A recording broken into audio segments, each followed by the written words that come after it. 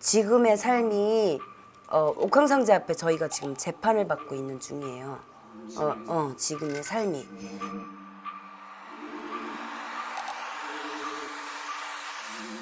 선생님 이번 질문은 어, 제가 좀 개인적으로 궁금해서 들고 질문인데 이, 이 전생과 현생이 있다고 말을 하잖아요. 네. 선생님은 전생이 있다고 생각을 하시나요?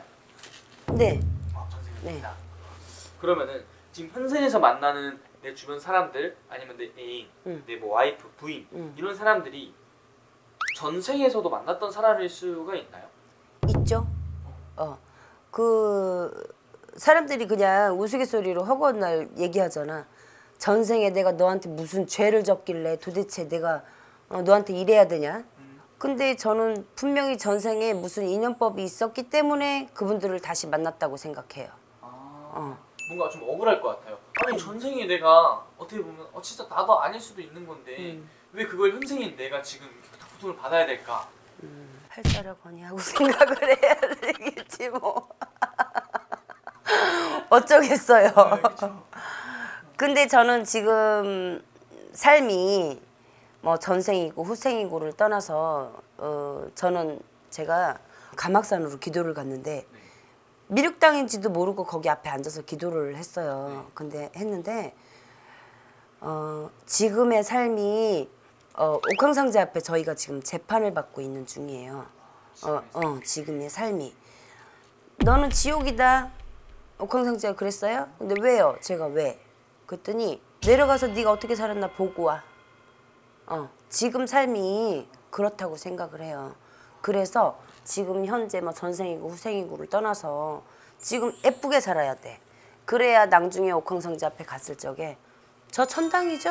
떳떳하게 말할 수 있게 그렇게 사는 것이 어떨까.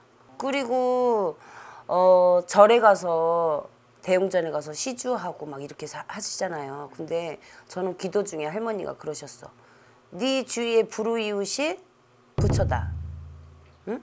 절에 시주하고 보시했더니 땅만 사갖고 산을 통째로 사서 다 응? 절만 크게 넓히더라.